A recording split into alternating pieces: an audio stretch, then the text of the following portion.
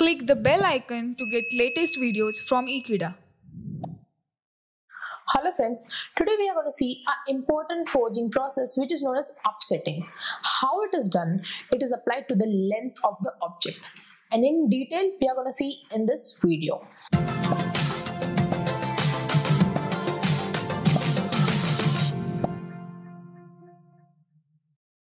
Upsetting is a process which is applied basically to the length of the object.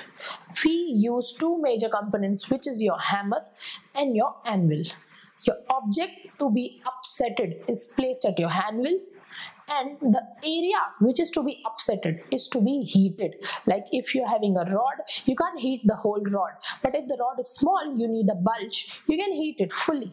But if the rod is big you need a bulge at a particular section. Maybe it would be in the middle maybe it would be in the front back or in the upper or lower position. You just have to heat that position so that when you hammer it like when, when you hammer your rod only that part which is heated, preheated gets damaged or you can say get bulged.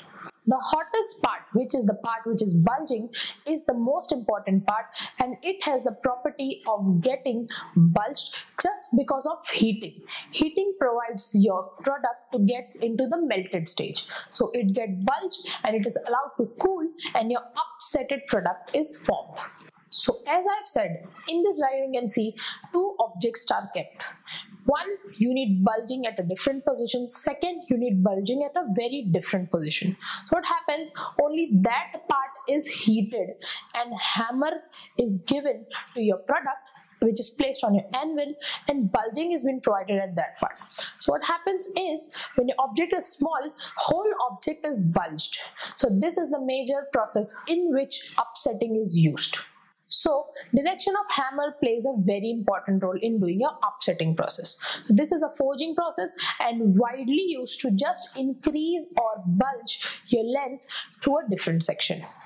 Thank you for watching this video. Stay tuned with Ekeeda and do subscribe our channel Ekeeda.